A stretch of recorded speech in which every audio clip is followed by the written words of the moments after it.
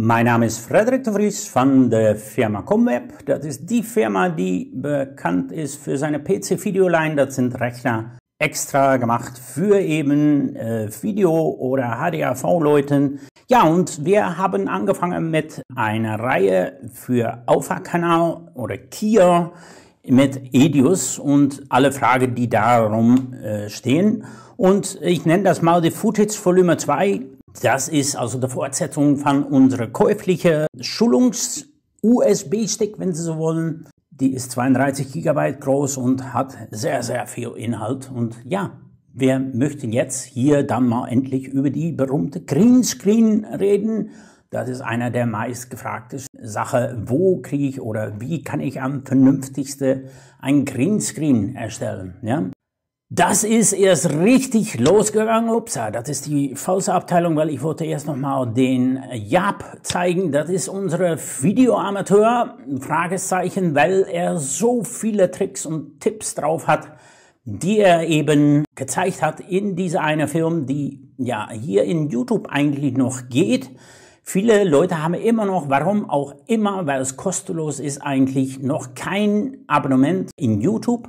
Dann kann man seine eigenen Filme auch privat einfach reinstellen und jeder kann sie ansehen, wenn sie von euch den äh, dementsprechenden Schlüssel kriegen oder eben sie können auch Bewertungen abgeben. Das heißt, sie können sogar bestimmte Leute dann auch abonnieren, damit sie immer ihre Filme zu sehen bekommen. Ja, und dieser Film hat wirklich ja, für Aufsehen in dem Sinne gesprochen, dass viele, viele Fragen kamen bei mir auch per E-Mail vor allem an und die dementsprechend hier äh, wollte ich dann mal auf die wichtigste eingehen, wie wird das gemacht? Und das sind hauptsächlich äh, Greenscreen-Methoden, also sogenannte Chroma Key-Bereich, wo das Ganze abspielt. Wenn Sie Fragen haben, können Sie das unter YouTube reinstellen. Der Jab beantwortet die meistens sogar selber. Wenn es so hoch ist, dann werde ich auch einspringen, dann können wir da äh, auch noch Antworten geben. Die E-Mails beantworte ich sowieso schon, wenn die dann bei mir an äh, kommen. Ja?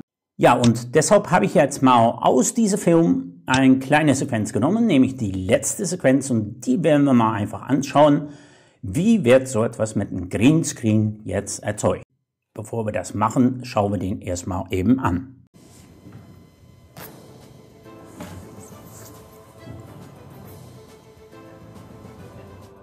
En natuurlijk heel veel dank aan Jaap en Jaap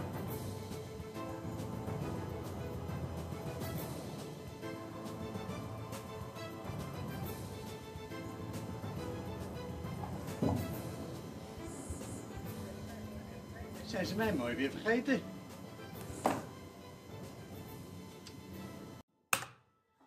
Ja, ein Schlussszene, der es in sich hat. Übrigens, der Jab hat das nicht alles selber erfunden. Er sagt auch in seinem Film am Ende Narrenidee von Zachking.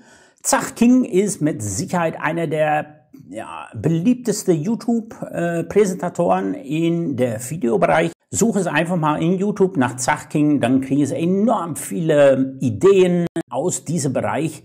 Die sind für alle interessant. Diese ganze Greenscreen-Basis, worauf das beruht, ist natürlich nicht nur in Edios möglich, sondern auch mit Programmen wie Magic, Pinnacle etc. pp. Ich führe es jetzt vor in Edios, weil da kenne ich mich eben am besten aus, aber das heißt ja nicht, dass das nicht äh, gegeben ist bei anderen Firmen. Ja? Was haben wir? Wir haben ein grünes Tuch und mit diesem grünen Tuch können wir uns da vorstellen. Und Sie sehen, das hat der Jab hier gemacht. Das ist quasi also der dritte Jab, die wir hier auch äh, sehen. Ja, Sie sehen, das ist die gleiche Szene, die hier stattfindet. Nur eben hat der Jab sich schon zweimal kopiert. Das ist eben möglich, weil wir dem, dementsprechend die Stelle nur auswählen müssen, wo er sich hinstellt. Diese Greenscreen die wollen wir eigentlich gar nicht haben. Wir wollen eigentlich nur die Jab haben und deshalb holen wir den jetzt mal hier quasi rein. Das heißt, hier wird er quasi reingeführt und ich habe jetzt mal genau passend die gleiche Jab drüber gelegt. Das heißt, wenn es gut ist, werden wir das gar nicht sehen. Mein Jab ist allerdings ein bisschen rötlicher als der vorherige Jab. Dementsprechend, aber ihr merkt, was passiert.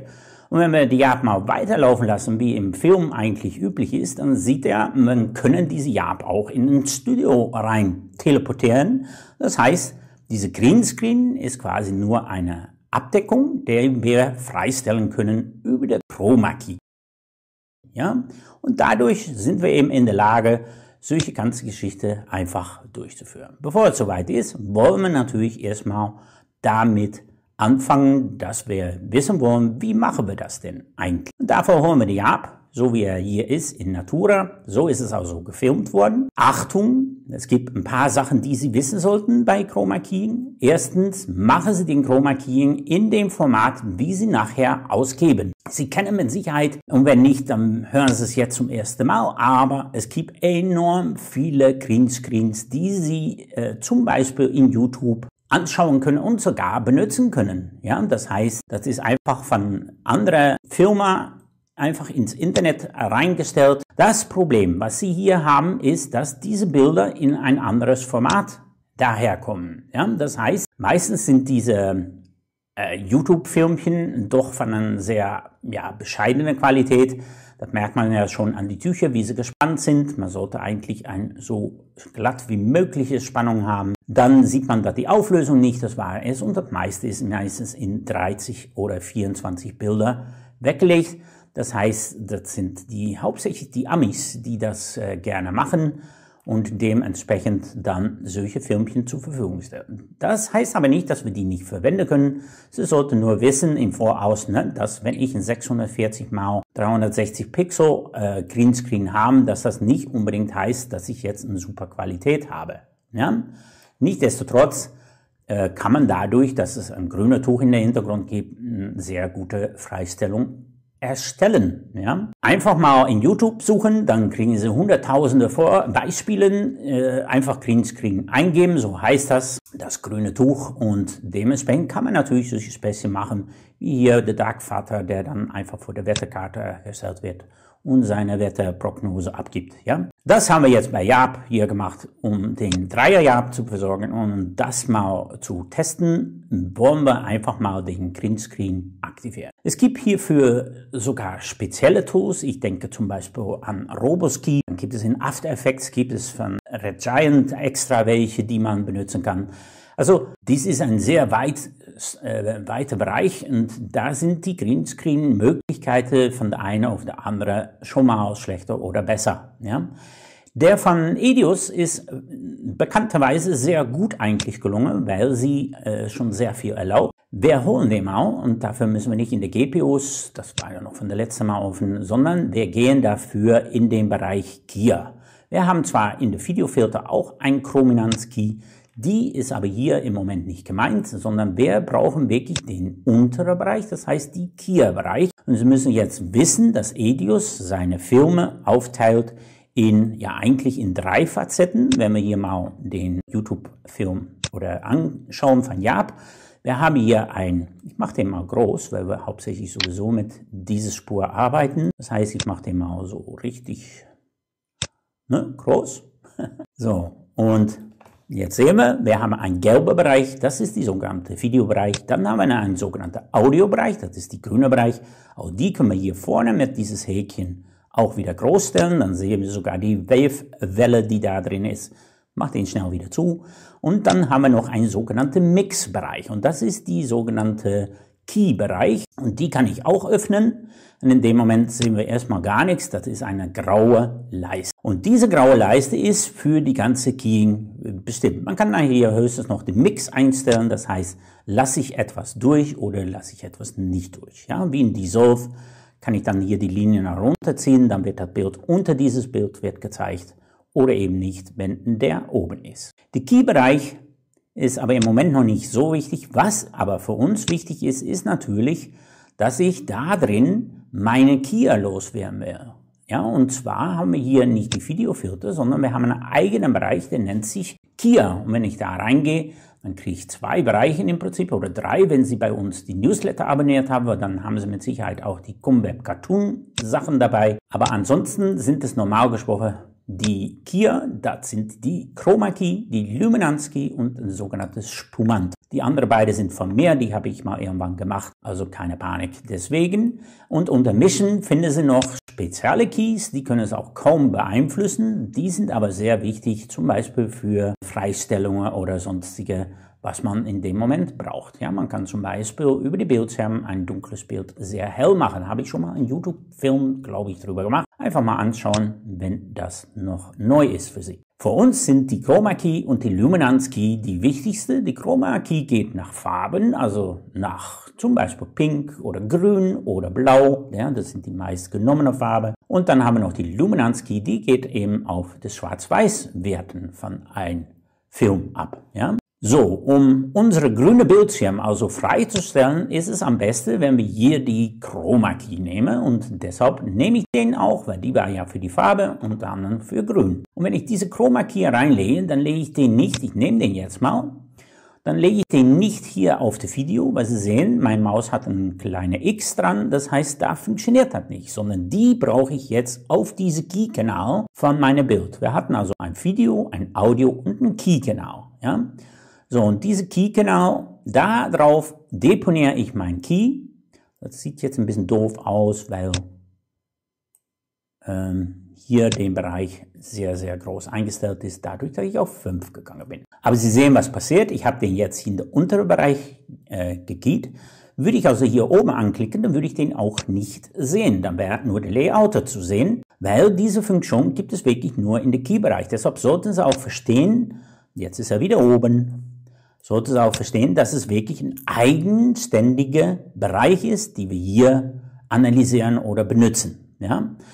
So, und in dem Moment passiert auch noch ein Phänomen. Ich habe die Jab hier plötzlich hinter einer schwarzen Umgebung stehen. Und das kommt natürlich, weil ich die Jab jetzt schon automatisch freigestellt habe. Das heißt, äh, der Edios hat für uns in dieser Fall die ganze Geschichte schon durchgeführt. Würde ich also hier mal einfach ein anderes Bild hinter tun, dann wäre das Bild auch mit Sicherheit zu sehen. Ja, so habe ich das auch hier in unsere Beispiel gezeigt. Ja, was ist jetzt zu machen? Weil ich kann jetzt sagen, ich bin fertig, aber wenn wir hier mal richtig schauen, wir haben hier so ein, oh, so ein, kommt das Grün plötzlich durchgeschimmert und ja, ansonsten haben wir hier an der Säule haben wir auch noch so ein leichte grüne Touch. Also müssten wir doch eigentlich eine Möglichkeit haben, das noch ein bisschen besser zu machen, als die Firma äh, Cresfelli das für uns bis jetzt gemacht hat. Und ja, tatsächlich, diese Möglichkeit haben wir natürlich, sonst wäre das ein ziemlich langweiliges Tool. Dafür müssen wir jetzt in diesen Bereich gehen, die wir eben ansprechen wollen. Dafür da ich hm, auf eine andere Spur gelegt habe, mache ich den mal wieder groß und klicke in den unteren Bereich an. Das ist die Chroma Key, das heißt hier wirklich das Häkchen setzen. Achtung, ich bin jetzt auf den Kanal gegangen, wo ich hingelegt habe, wo ich kein Audio habe. Das heißt, ich habe hier einen reinen Videokanal und dadurch haben wir hier auch noch ein Audio. Ne, wie hier unten, da hatten wir ein Audio-Häkchen. Wenn ich den öffnete, würde der Audio geöffnet.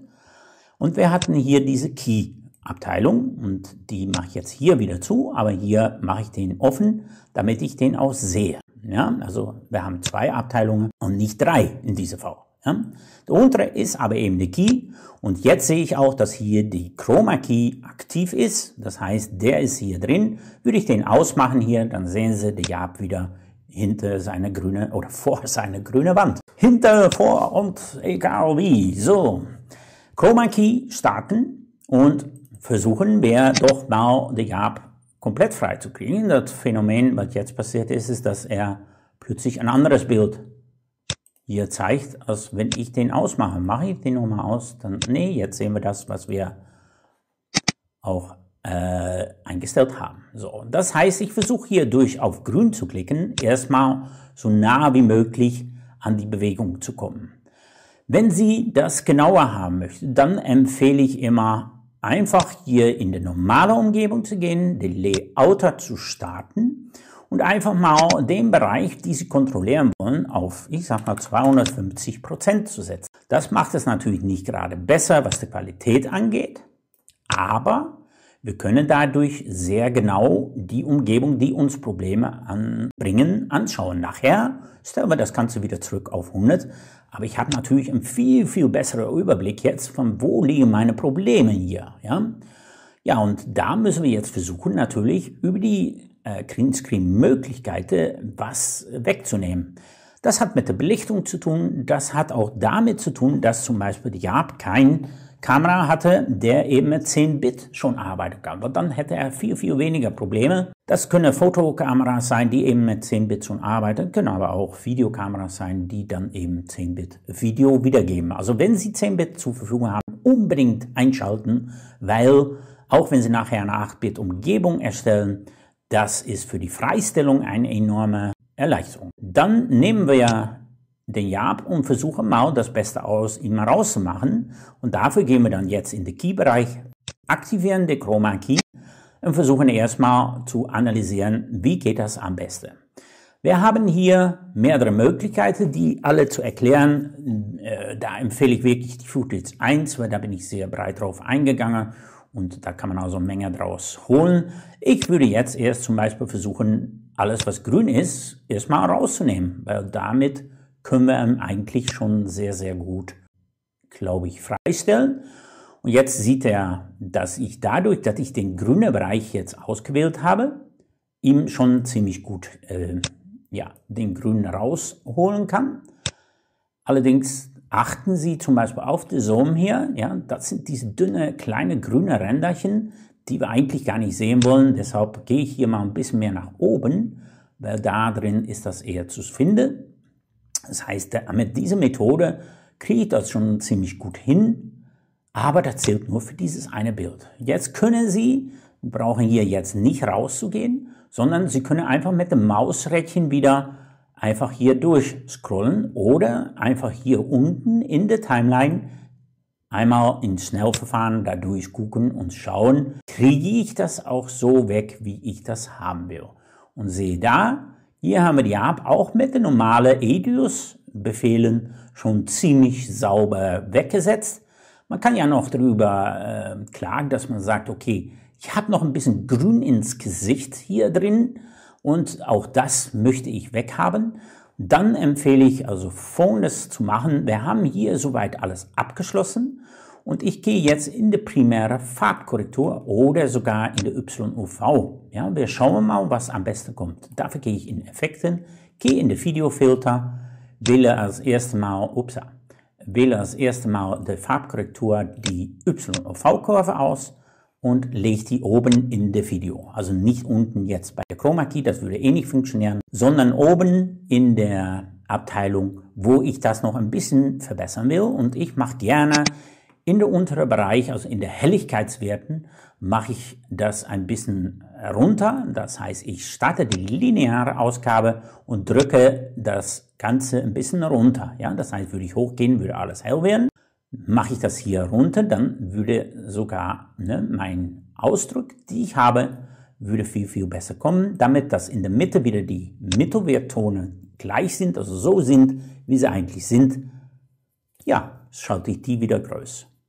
Das ist eigentlich hier in dieser Fall in meinen Augen schon ausreichend. Dadurch kriege ich diese feine grüne Ansicht kriege ich schon sehr leicht weg. Wir werden später noch andere Beispiele sehen, worin wir mit Sicherheit größere Probleme haben. Die Jap hat schon eine sehr hohe Auflösung.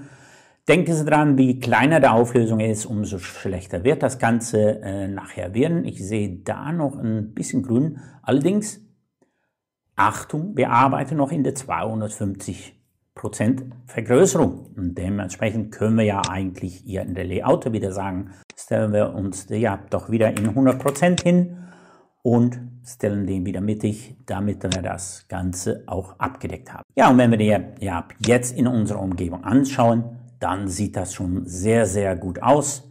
Das heißt, wir nehmen unsere Studio, das sind übrigens äh, von uns fertige Studios, die können Sie ganz viele von haben, wenn Sie wollen.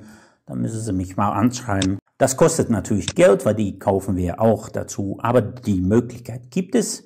Und die haben einen Vorteil, die kann man einfach kopieren. Das heißt, die sind rundlaufend und so lange wie ich sie brauche jetzt, kann ich einfach die hintereinander legen und ich würde immer einen sehr guten Hintergrund haben. Ja, und wenn wir es jetzt mal laufen lassen, dann sehen wir das Jab hier in unserem neuen Studio, Studio Comweb. Ja, ja, dass der hier perfekt zu sehen ist. Wir könnten hier jetzt auch noch ein Greenscreen erzeugen und da unsere Werbung für Footage 1 laufen lassen, aber ich will ja nicht übertreiben. Ich denke, so kriegen wir schon ein sehr gutes Ergebnis hin. Ja, dass das nicht immer so schön klappt, wie es hier jetzt äh, gut zu sehen ist, weil die Aufnahmen manchmal aus, äh, vor allem aus Amerika, dann doch nicht die Qualität haben, die wir hier dann zur Verfügung haben. Ja, dann gibt es noch ein paar andere äh, Tricks und Trips. Die kommen aber in die nächste Schulung. Die werden wir heute nicht mehr beantworten. Und ich denke, dass wir anhand von das Beispiel von Jaap sehr gut sehen, wie jetzt so etwas gemacht ist. Jetzt brauchen wir nur noch die Ideen, die die Jaap auch hatte. Und da würde ich euch dann wirklich empfehlen, mal bei Zach vorbeizuschauen. Das heißt, wir haben im Anfang schon darüber gesprochen. Zachking ist die Adresse, die Sie mal in YouTube anschauen sollen. Übrigens in der Newsletter hatte ich mehrere YouTube-Kanäle gesagt, die sehr gut sind. Da sind wirklich noch sehr gute bei. Also einfach mal anschauen. Und dementsprechend haben Sie wieder jetzt neue Ideen bekommen. Ich gebe unten nochmal einen Link für einen Greenscreen, die ich selber benutze innerhalb äh, der Amazon-Umgebung. Dann, äh, ja, oder ich gebe ein paar mehr, damit Sie mal gute kriegen und dann einfach anfangen und mal testen, wie weit das geht. Die Beleuchtung ist natürlich sehr wichtig bei einem Greenscreen, aber ähm, ich denke, dafür gibt es auch genügend Kurse inzwischen. Wir machen demnächst mal ein Bild-in-Bild in eine Verfremdung, damit Sie schon mal wissen, was demnächst mal ansteht. Mein Name ist Frederik de Vries von der Firma Comweb. Ja, bis zum nächsten Mal und bleiben Sie gesund.